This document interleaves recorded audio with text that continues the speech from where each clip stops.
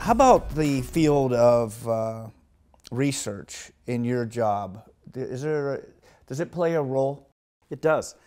You know, uh, we, we've got an incredible opportunity at H&P where we've, we, we, we try to promote innovation from anywhere and everywhere. We do have individuals that are set, that, that are set aside that do research for us discreetly and, and, directly on topics of interest that we might have. And that might be alternate ways to drill or a new way to do mm-hmm. a new widget or something that we, we're, we're trying to invent.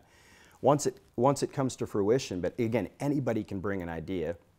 Or when someone brings an idea, what's great about our culture is just because we, we have kind of radical transparency and communication, right? We encourage people to bring those in, right?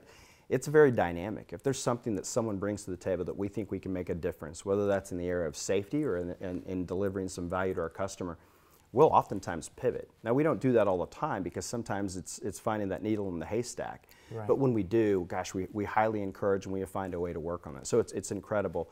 We have folks that are constantly researching the latest and greatest. So right now, one of those might be artificial intelligence. We're looking at how does that help us. Uh, you know, all of the emerging technologies that exist right now. We've got people uh, that are just passionate. I, we, we talk about curiosity. So, of their own accord, we have so many passionate people that read up on all these different emerging technologies, and then they're not afraid to come talk about it. Hey, what if we did this with this? Oh, that's great. Uh, it's fantastic. Yeah, it sounds like a really good culture at your at your it's operation. fantastic. For more information on the innovations that are shaping our world, visit tomorrowsworldtoday.com or check out the Tomorrow's World Today Facebook and Instagram pages.